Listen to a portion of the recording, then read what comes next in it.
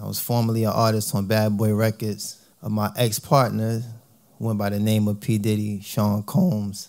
Right about now, they're making a lot of movies and series about these type of guys. How many y'all, such as myself, grew up with no parents? I watched people die. I genuinely love the Muslims. When I said La ilaha illallah Muhammadan Rasulullah, that was the last day I smoked. I learned a lot about how powerful the Muslims are. Literally went to go make Hajj. When I got in the courtroom, and realized that I was being implicated in a conspiracy that had nothing to do with me. The nine years I spent in prison and I just got back. get the warm embrace, ah, salam alaikum, wa salam. After a week, it's like, wa salam. He don't know nothing about Sheikh Google, Ibn Twitter, El Instagrammy. That ain't his Sheikh. He don't know that guy. That's your Sheikh. Nah. Assalamu alaikum wa rahmatullahi wa barakatuh.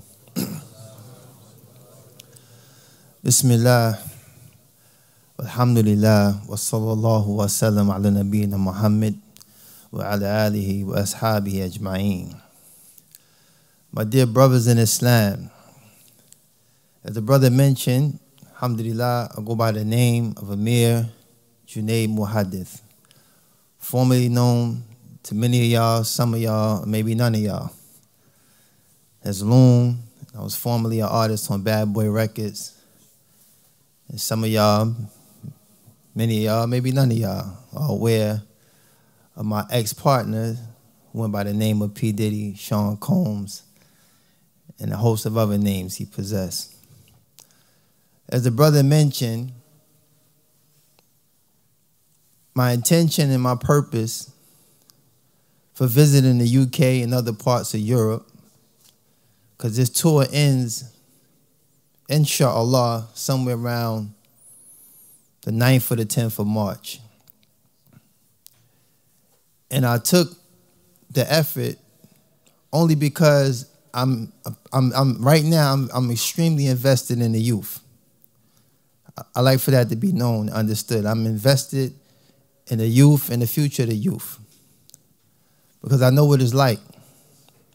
You know, growing up in the streets of New York, I grew up in an era where drugs, violence, and everything plagued my town. It plagued my community.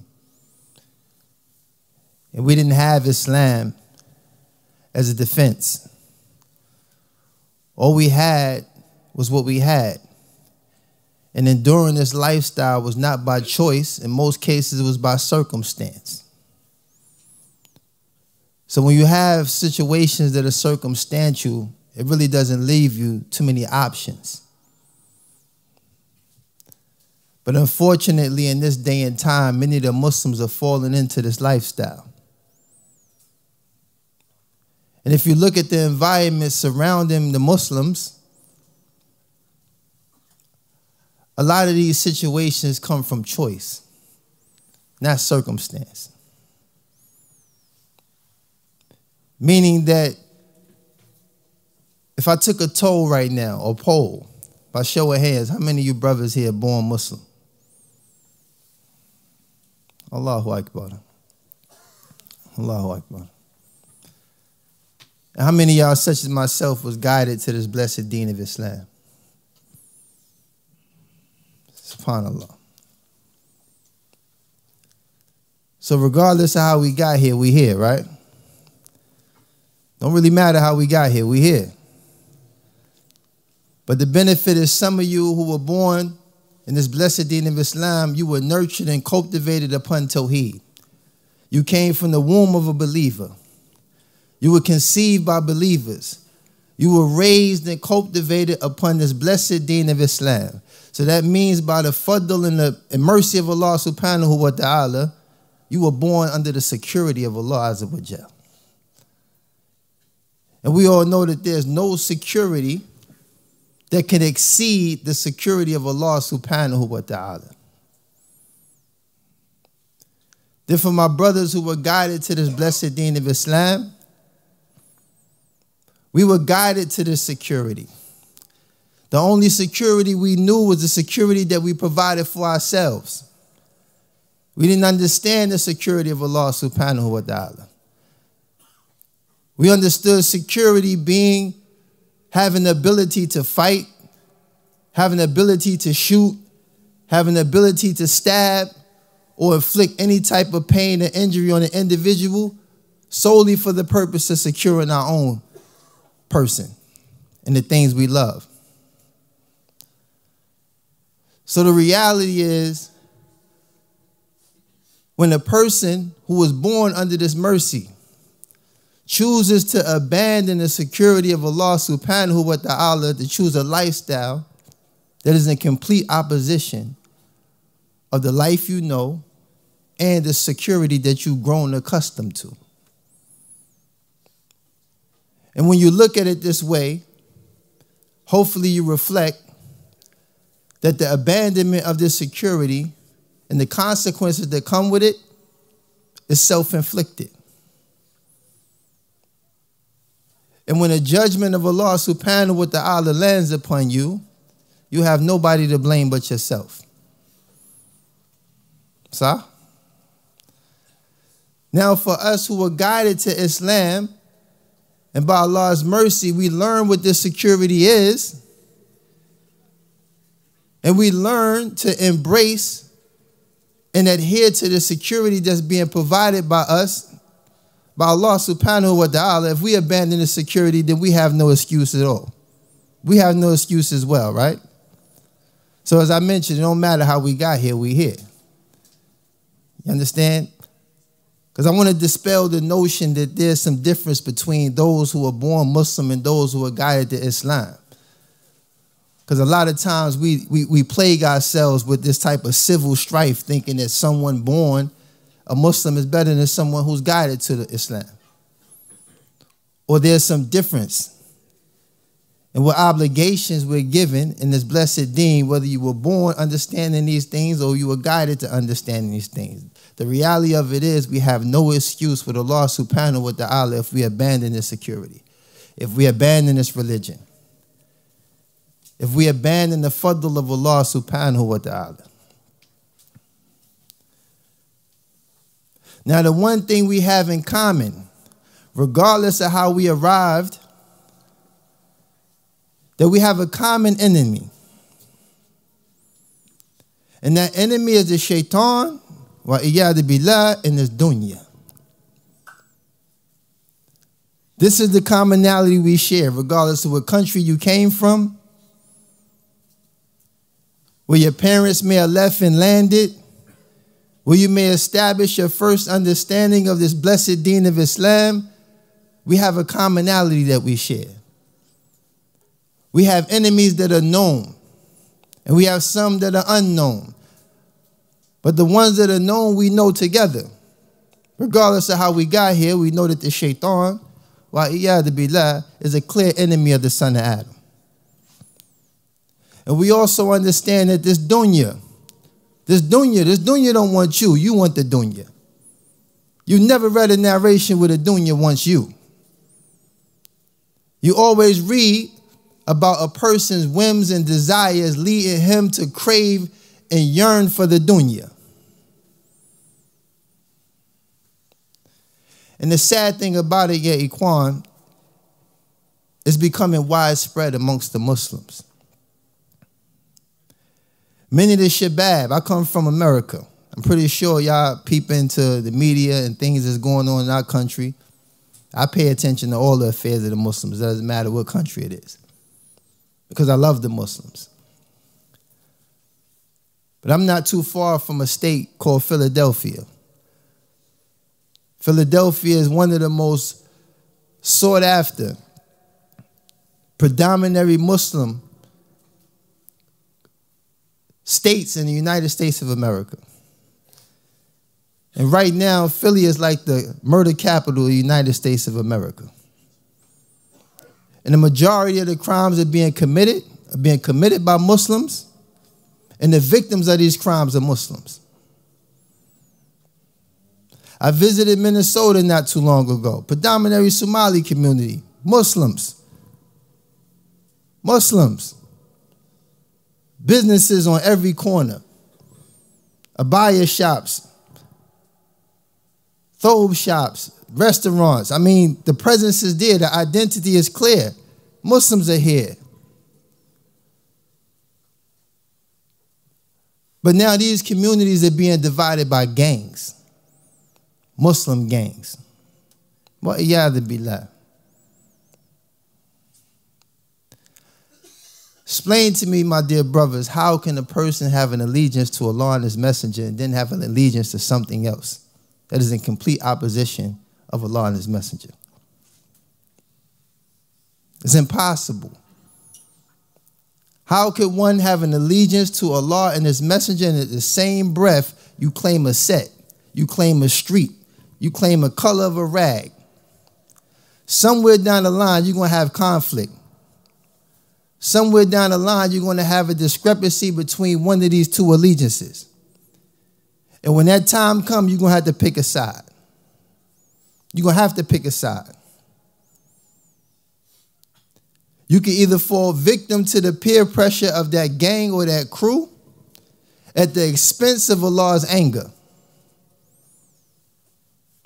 at the expense of Allah's anger, you can choose an allegiance to something that's in complete opposition of Allah subhanahu wa ta'ala and His Messenger sallallahu at the expense of earning the anger and the punishment of Allah subhanahu wa ta'ala. You can choose this allegiance and die upon that. And never get the opportunity to gaze upon your Lord. These are things that I'm investing in because I see, like I said, many of the youth falling into these affairs, and it's not circumstantial, it's by choice. You are choosing to throw away your Islam for this dunya. You are choosing to throw away your Islam from a lifestyle that you've never been exposed to. It's never been taught in your homes. It's not something that you witness your father, your uncles, or no one have to endure unless they endured it by choice as well. I know what it's like to live in an environment where there's no choices. My father was never there. My mother fell victim to drugs. My grandparents raised me. I watched people die, funeral after funeral, to the point I got numb. Funerals when I was growing up became fashion shows. We only went there to see what each other was wearing. The person in the box didn't even matter anymore. We were trying to get at his girlfriend because he's no longer with her. He's gone. When, the, when this stuff becomes normal, any sane person will realize that this is not real. This is not life. And when I see Muslims falling into this situation, it breaks my heart because I know what Lord guided me to. When the Lord guided me to this religion in December 2008, when I said, La ilaha illallah Muhammadan Rasulullah, that was the last day I smoked. That was the last day I drank. I haven't listened to the radio since. And I don't say that to boast or to brag. I say it out of gratitude because I'm grateful for what you had your whole life. I'm grateful to have what you had your whole life. How many y'all, by show of hands, grew up with both your parents in the house? SubhanAllah, y'all like superheroes where I come from. Y'all like superheroes. Y'all abnormal where I come from. You grew up with both your parents? You might have a kid in my neighborhood kill you just for that, out of jealousy because you got both your parents. How many y'all grew up in single homes, single parent homes? It's crazy. I can't even see y'all hands. That's amazing. May Allah bless your mother or your father, whoever raised you alone. How many y'all, such as myself, grew up with no parents? Allahumma barik, Hakim. Yeah, my grandparents raised me. May Allah have mercy on them both. My grandfather, he passed at 96 years old. He took his shahada before he died. I came home from prison. My grandmother was fighting fourth stage cancer. Died at 91 upon Islam. She took her shahada before she died. When I watched the rest of my family grieving, they couldn't understand why I didn't have any grievances. One, because I was fortunate to have these people in my life my entire life. And then on top of that, I may have an opportunity to meet them again in Jannah. While my family's falling apart.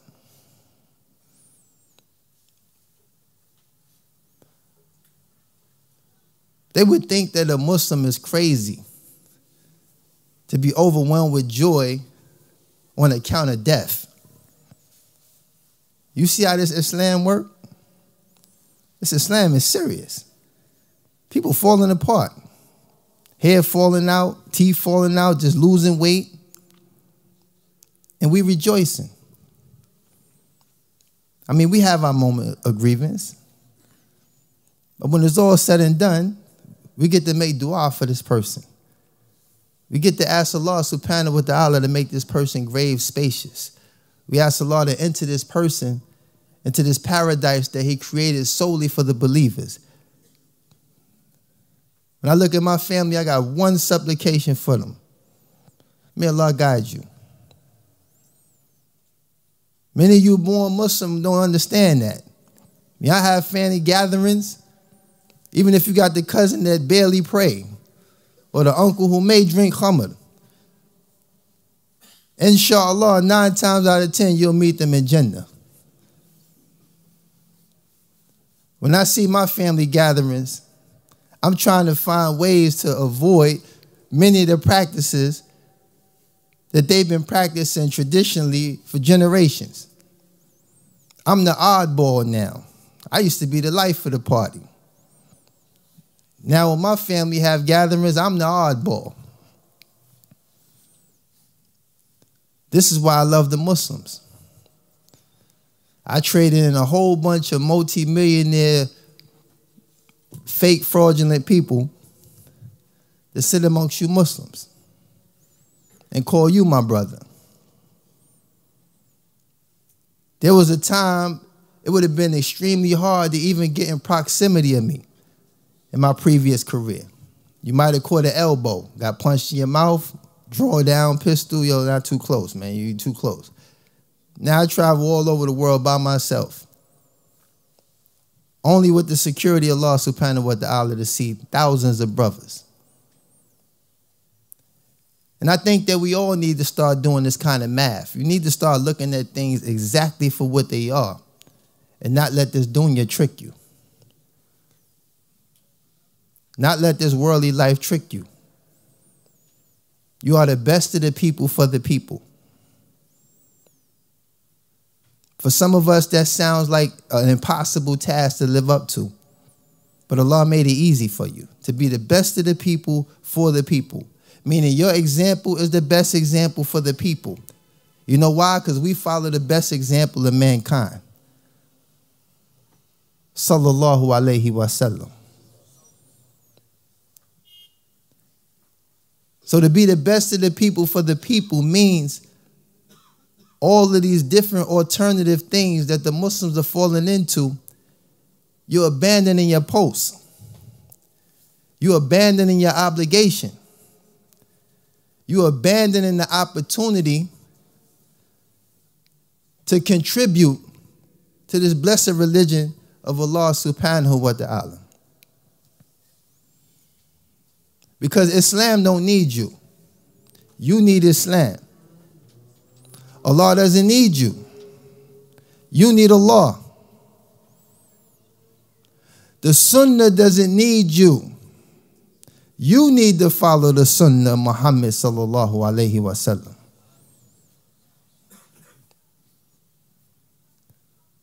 So these reminders start with myself and I extend it as your brother so that you understand what you already know. You've heard these things repetitively through all your lives. Sometimes coming from a different mouth or a different perspective may benefit the believer, inshallah. But the reality of it is, without sacrifice, as the brother mentioned, wasn't really much of a sacrifice. Traveling across the Atlantic Ocean is not a big deal. Wasn't a big deal. But the stories that I heard before I came across this ocean, that was a big deal. I heard stories of knife violence. I heard stories of gangs. I heard stories of Muslims assaulting other Muslims, murdering other Muslims. Disrespect of the parents. Loud. Allah subhanahu wa ta'ala put dutifulness to the parents right after his right to be worshipped. Right after his right to be worshipped alone, he put dutifulness to the parents. I can't even imagine someone who nurtured and cultivated you upon Tawheed, nurtured and cultivated you upon Islam, that you have the audacity to raise your voice, raise your hand, or anything disrespectful. I know non Muslim parents that'll break your back in half for disrespecting them.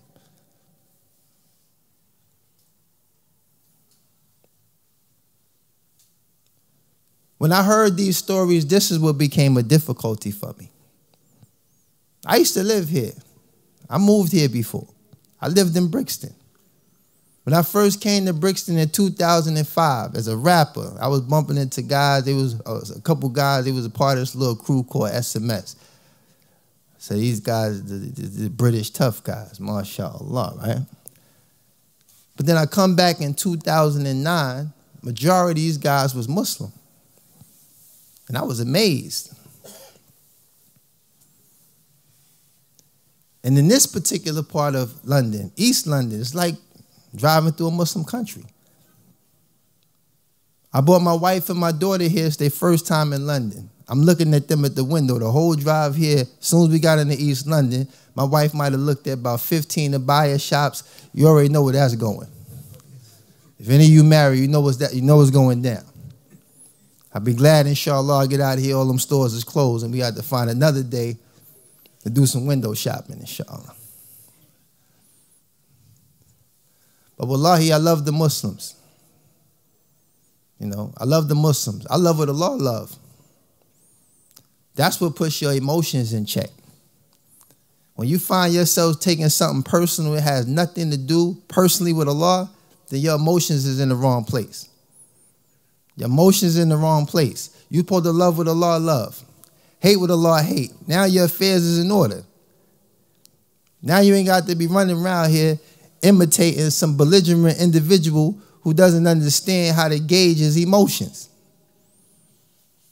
And you definitely don't want to fall into a situation where you lack the control of your emotions. May Allah make us all better.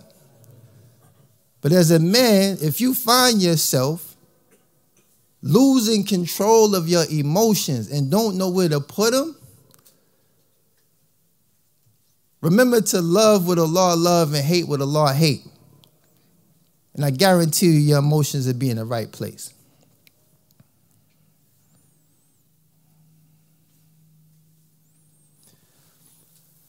My dear brothers, I want to take this time out, inshallah, to engage you in a conversation that's going to require you to talk back to me. I'm not up here just to run my mouth. I want to hear your voice as well. Because it's important to me. I benefit from this. I learn from brothers. I learn about the plights of the Muslims. And I supplicate to Allah and ask Him for guidance and ask Him for the means to contribute to the rectification of the affairs of the Muslim because we all have a part. Many y'all just love to break the imam back or just break the sheikh back, take everything. Oh, ask the sheikh, ask the sheikh. Don't ask me, ask the sheikh. The sheikh is overwhelmed. Well, y'all going to lift some of the burden off the sheikh. You understand this religion? SubhanAllah. Y'all send someone way across town to a dawah table instead of just giving the person dawah right there, right? Y'all quick to send somebody to YouTube. This segment right here is about accountability. Right? The Prophet said we are all shepherds, right? And every shepherd will be held accountable for his flock. And accountability, responsibility, all of these are characteristics and traits of men. Because we on man time right now. Yeah, we on man time. Alhamdulillah. How many of you brothers can explain to me what is a man of virtue? What is a man of virtue?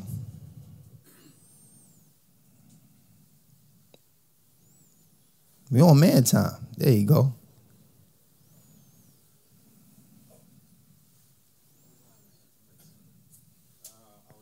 Hold up, you too young to be getting up that slow, man.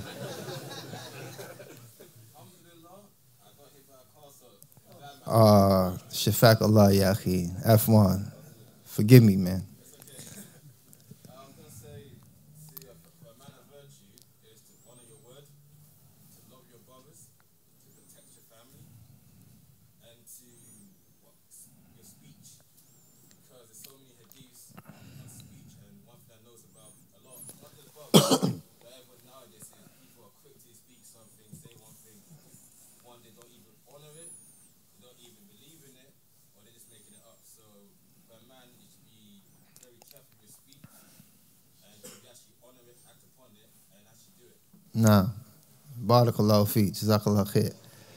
There's a statement of Imam al-Bukhari. Said, Al-ilmu qabla qawli bil-amal. Knowledge precedes speech and actions. Right? So it's not permissible for a Muslim to speak or act without knowledge. Barakallahu fi. That was, that was amazing. He, he actually took the answer from about five of y'all. I would have went around just got one from him, the other four from somebody else. That's what I mean by lifting the burden from your brother. But we ain't over. This ain't over. He explains some of the virtues of a man of virtue. Can anybody describe to me an actual man of virtue? Do any y'all actually know a man of virtue? There you go. Muhammad ibn Abdullah alayhi salatu wasalam. The most virtuous man that ever walked this planet. Subhanallah.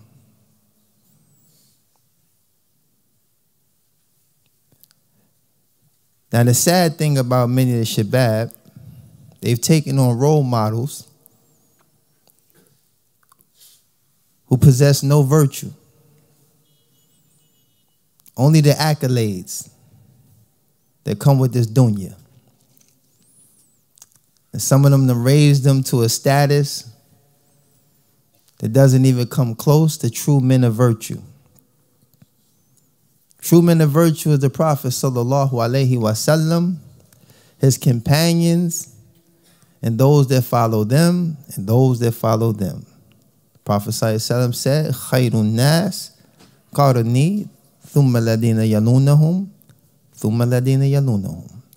The best generation is my generation, and those that follow them, and those that follow them.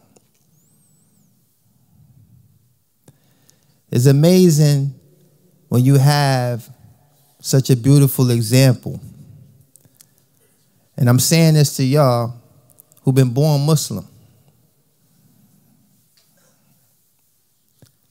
Because growing up in the environments I grew up in, the men that I deemed to be virtuous, they possessed some of the characteristics that the brother mentioned. They were men of their word. They stood on their word, you know. They tried to implement some level of, you know, consistency in their characteristics, their speech and their actions. But it was all batil. It was all revolved around something that man created. A lifestyle that no human being can fully live up to. Because even those guys, when the situation got tight, they folded just like a beach chair. And he had a bunch of us believing that they were immortal. We thought they was them dudes. They had everything. They had cars, they had jewelry, they had respect, they had fear, they had all these things. But when the walls came crashing down, they got on that same stand that they claimed they would never get on and point across the whole courtroom and say he did it. How disappointing it was to grow up looking at these guys like they meant something. May Allah guide them. But when you look at the Prophet Sallallahu you look at his companions, these are men of virtue, Yaquan. These are men you want to be like. Trust me. I've been all I've been to six different continents. I've been everywhere except Antarctica. And I rub shoulders with organizations that right about now they're making a lot of movies and series about these type of guys. Y'all even got to show gangs of London. SubhanAllah. You know? But true virtue I've only seen through the example of the Prophet Sallallahu and his companions. May Allah be pleased with them all. For the youth, don't be led astray by these individuals who created this lifestyle that looks real shiny, looks real appealing. Don't fall into these traps. Y'all know your brother Amir just spent nine years in federal prison. Nine years. I put that lifestyle so far behind me. I was living in Egypt at the time, studying at a couple of Maracas. I just signed up for the Rasul Khas in um, Jamiat al-Azhar. Literally went to go make Hajj. Came back to Egypt, dropped off the gifts that I got for my family, and immediately turned around back to the airport to go to Belgium to give a talk. And I just got back like two and a half years ago.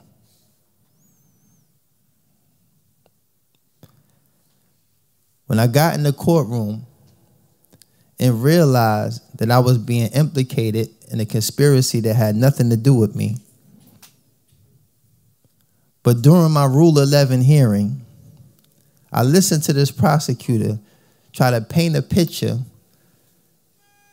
that was not even remotely close to the truth. This woman said that I was traveling around the world glorifying my past.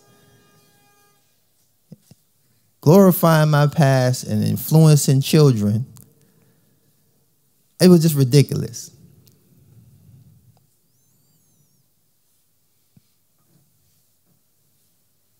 And now I look at this brother, may Allah protect him. I was actually in the process of having a conversation coordinated with another brother that we know mutually. And I hear how, you know, once he took his shahada, that same trick bag. This man is sitting in prison right now with no charges. So if you learn anything from this, that tells you that this Islam is powerful that Allah's deen is powerful. And those that possess knowledge and understanding and implementation of this religion, you are powerful. So trying to imitate anything other than the Prophet ﷺ and his companions, you are fighting a losing battle. And you are actually doing the work of the shaitan. Because the shaitan don't care about the individuals who go astray. He's pleased with you. The shaitan loves the individual who delays or rejects the salah.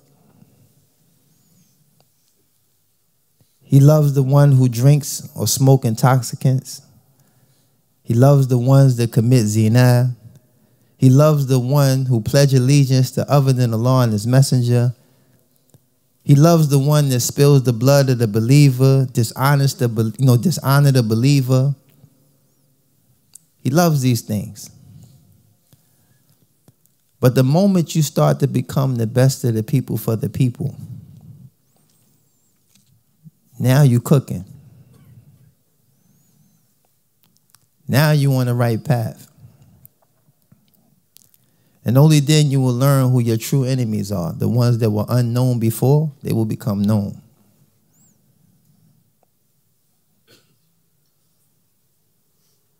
And you will accumulate this enmity based upon you obeying your Lord.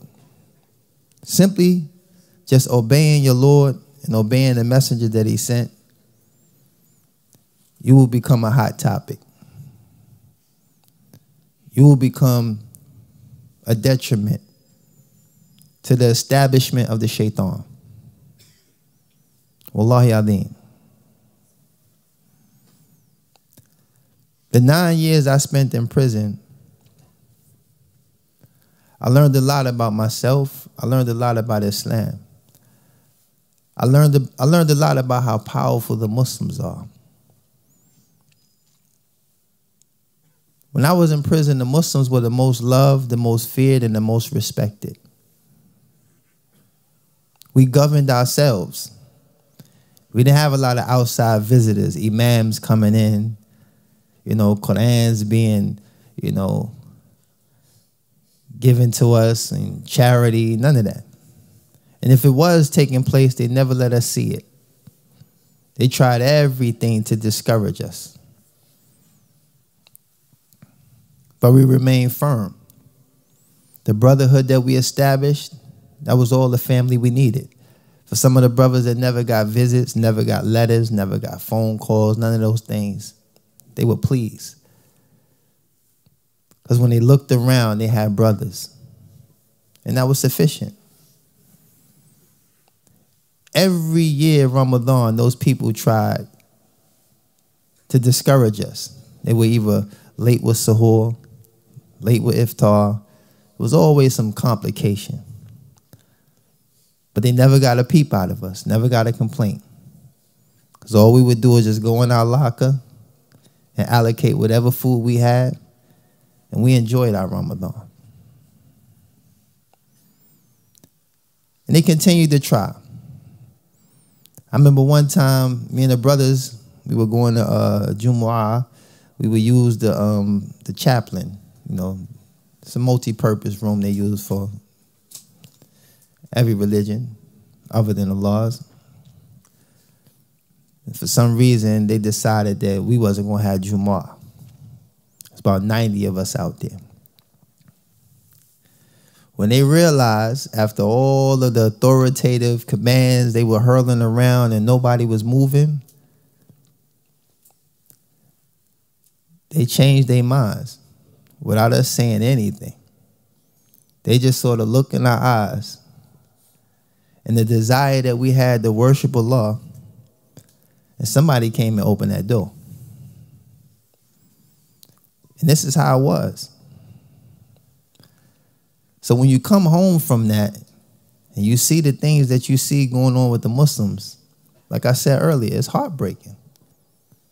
Because we didn't have the ensemble of means to produce the strength that we were able to establish in the environment that was in complete opposition of the Muslims. And this is why a lot of brothers, well, I'm to tell you the truth. This is why a lot of brothers end up going back to prison. I've seen brothers return because of the lack of brotherhood, the lack of being received when they come home. Because we had it structured. Just to give you an idea.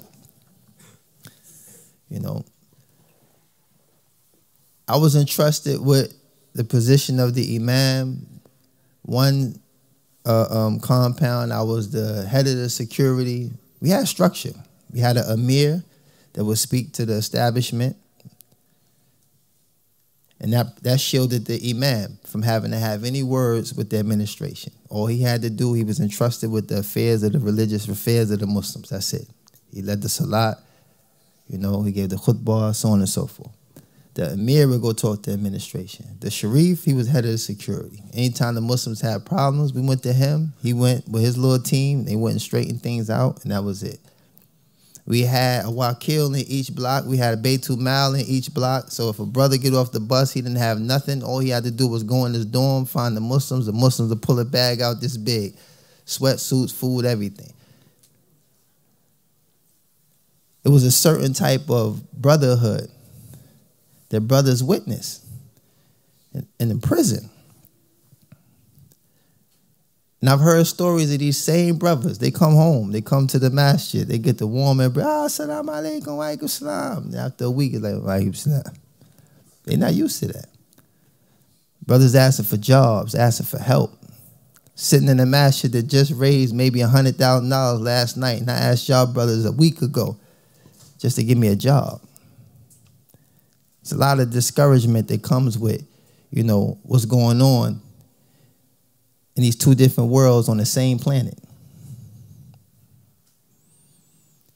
Some of the brothers, they're a little aggressive. You know, I you know, seeing the sister, man, who's who's a wali. Like you can't run up on nobody asking no brothers. You know, brothers is crazy though. They they, they want to get married. You know, they may have a whole different approach though. You know, coming out of a testosterone driven environment. But the reality of it is, it was like there's a certain level of brotherhood that was established in a place where it was needed. But then I asked myself, where is it needed the most? Right? Where is it needed the most? Cut to the law, they end up in prison and they find this thing. But we got brotherhood out here. But a lot of us are losing our youth. So, in closing, I want to be mindful. I want you guys to be mindful. The elders and the youth that brotherhood that I'm talking about, it wasn't no age thing. We had older brothers that were serving life sentences, 30 years old, and we respected them because they was our elders. We respected them because they were our elders. And we treated them better than our own fathers because many of us didn't have Muslim fathers. So this older brother that was Muslim, we treated him better than we treated our fathers. It was a certain level of respect, and the elders never talked down to the youth. They gave the same respect in return. You almost felt like you could be a peer with a 70 year old man, with a 60 year old man, that you can talk to him like one of your peers. Now we have this generational gap. How many of y'all, by show of hands, was born in a Muslim country? So a lot of y'all second generation. How are y'all born in the, uh, in the UK? See, that's where the gap come in. Because now you experiencing things that your dad, you think he old school. Because he done came from the Muslim land with all these Muslim traditions and everything like that. And you out here in this dunya acquiring an education from a second set of parents. You know, the second set of parents is the dunya.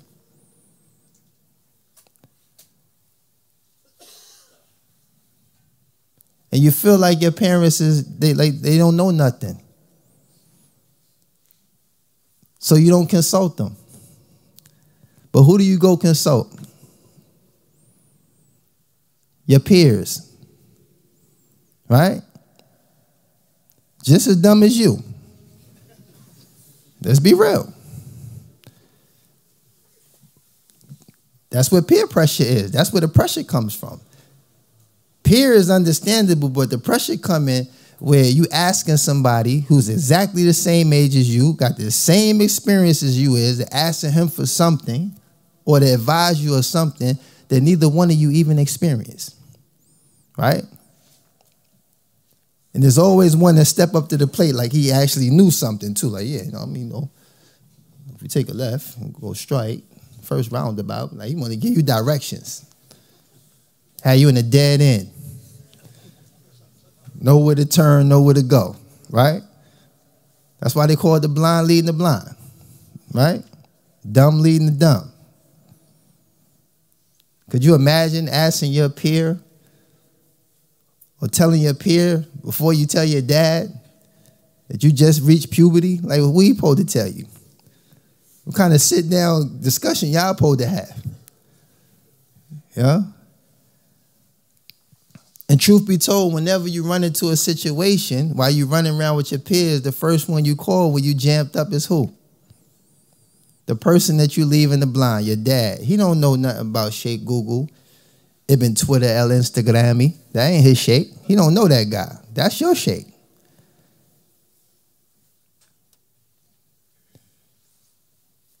Y'all purposely leave them oblivious to social media You don't invite them to learn or understand some of the things that you're experiencing. So what happens? They came here to work to give you a better life. You probably see each other maybe eight eight hours out the month. Right? Come in the house, salam alaikum, wa alaikum salam, how's school? How's Quran class? That's it. You're working, they tired. Y'all be ready for them answers too. Now, Jay, alhamdulillah, it's good. Quran good. Y'all never volunteered to talk to your fathers. They be trying to reach out. They be trying to figure y'all out. Y'all leaving them blind. Inshallah, man. May Allah make us better, man. May Allah increase us in that which is pleasing to Him.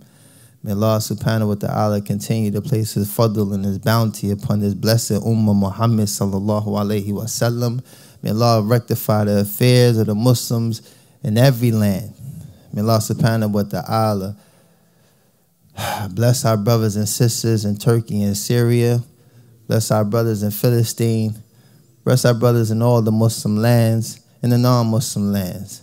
May Allah subhanahu wa ta'ala keep us firm upon his blessed sunnah of his messenger Muhammad sallallahu alaihi May Allah unite our hearts upon good, upon good. May Allah subhanahu wa ta'ala make this brotherhood, this brotherhood that comes with Islam, may he fortify it and make it a resemblance of the brotherhood of the Prophet sallallahu and his companions.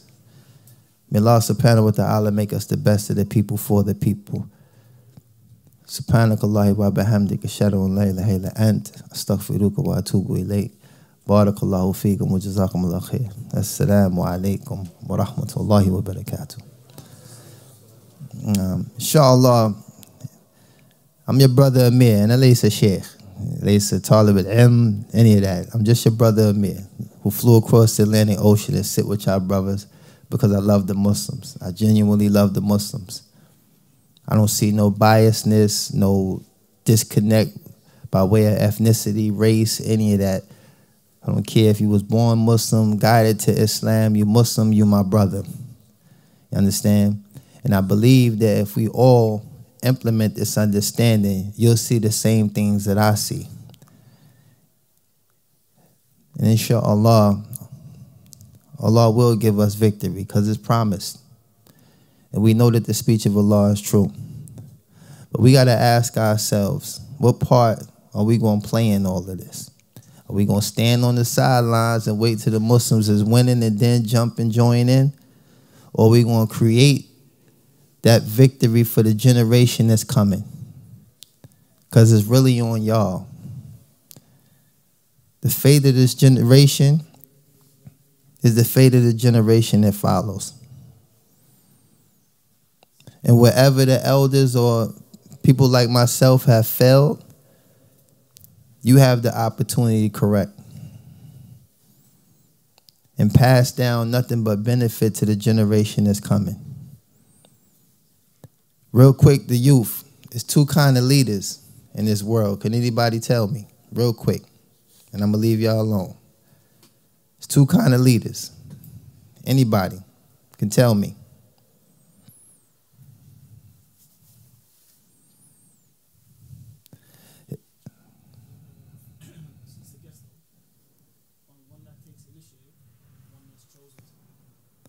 He said one that takes initiative and one that's chosen to lead. That's close. The truth is, the leader who's called to lead the people and the one that takes the power of the seat himself. Hmm. I'm gonna give you the answer. Yeah, something like.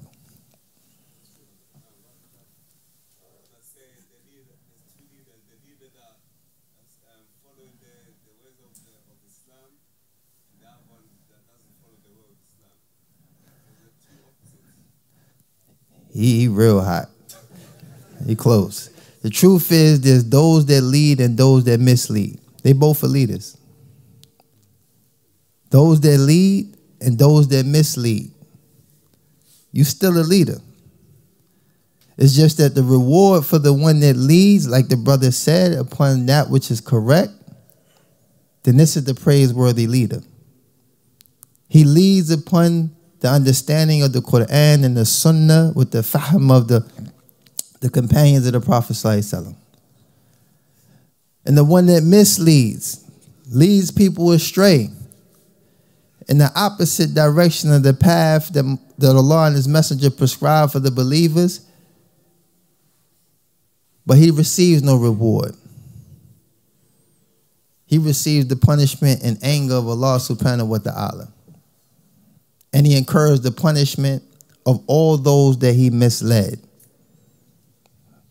So those that lead and those that mislead, you have to choose which one you want to be.